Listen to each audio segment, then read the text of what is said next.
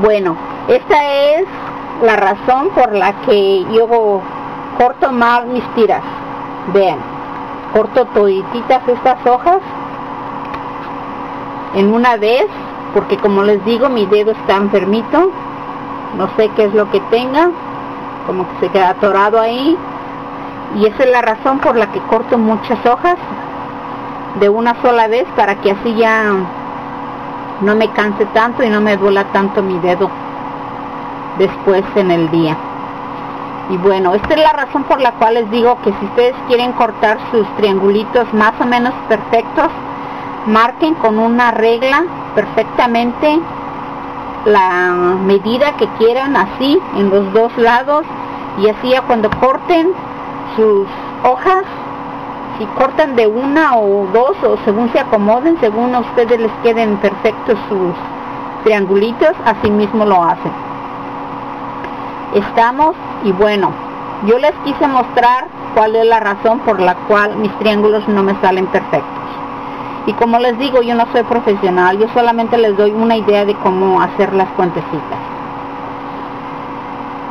Y bueno, esa es la razón por la que yo les muestro el papel así y bueno quiero cortar pero veo que he dejado las tijeras en la parte de arriba y bueno no voy a poder cortar en esta vez pero les muestro el paquete para que vean qué tan grueso es ¿sí? vean así como está de grueso yo creo que son como se me veo 2 3 4 5 6 7 8 9 10 10 11 12 13 14 15 bueno bueno bueno. 16 hojas de un solo tajo. Me han salido así deformes porque obviamente no los corto bien porque a la hora de cortar la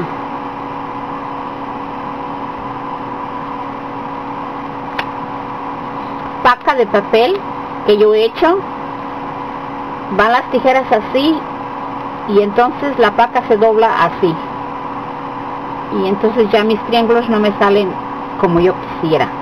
Bueno, esa es la razón por la cual les estoy mostrando cómo es que no deben de cortar sus triángulos. No corten un paquete así como yo porque no les van a, a quedar perfectos, especialmente si tienen la misma enfermedad que yo tengo.